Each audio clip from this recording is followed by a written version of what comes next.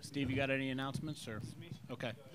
All right, we have uh, head coach Roy Williams. We have Marcus Paige. We have Brice Johnson. I suppose I should say that we finally have Theo Pinson up here. We'll start with an opening statement from coach. Then we will throw it to questions for the student athletes. Questions. So, coach, if you can get us started. You want me to make the opening announcement, or you want Theo? Don't be stealing my drink. My fault, my fault. Get this on film.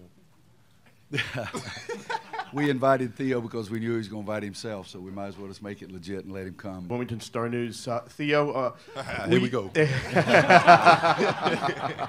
sorry, Coach. Make sure everybody gets a picture here. I want this. I want this to be seen by everybody. Theo, did you invite yourself here tonight, or did Coach say you could come because you were such a spark off the bench?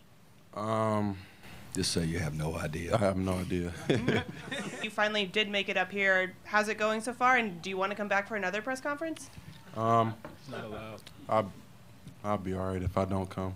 I'll just crash it again. and, This is for Marcus, Brice, and Coach. Um, can you describe Theo being Theo in your own words? Can I go? Go ahead, go ahead. Marcus. Um, I mean, the easiest way to describe it is just like, I mean, just look, like, just watch him, be, watch him be himself. Early thoughts on your matchup with Syracuse? Uh, Theo. we just won. I'm gonna enjoy this one first.